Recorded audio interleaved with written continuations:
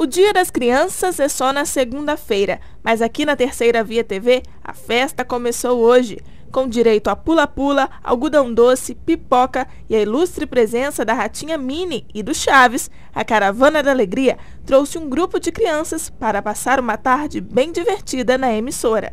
Os meninos e meninas conheceram os bastidores da TV e se divertiram ao descobrir os truques feitos durante a edição de um programa.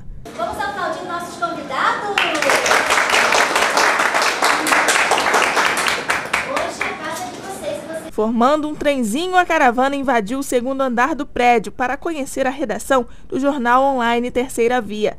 Depois de conferir de pertinho tudo o que acontece no nosso sistema de comunicação, a criançada participou de uma oficina de origami. Pois é, eu gosto sempre de inovar, criar, literalmente. E quando eu era pequena, eu assisti um filme, A Fábrica de Chocolates, que todas as crianças tinham a curiosidade de saber como era a fabricação do produto, enfim.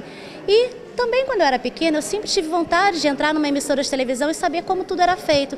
Aí, Tia Lelê, então eles vão descobrir o passo a passo de como é feito o Caravana da Alegria, né?